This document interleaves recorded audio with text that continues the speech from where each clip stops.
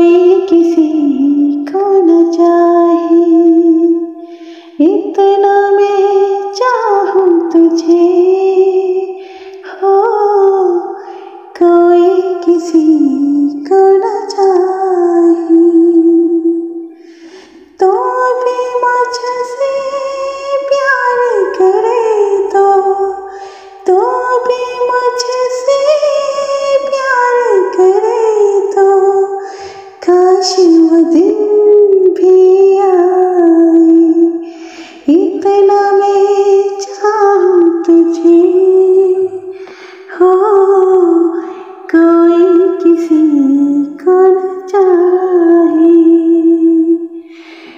होती में भी पहरे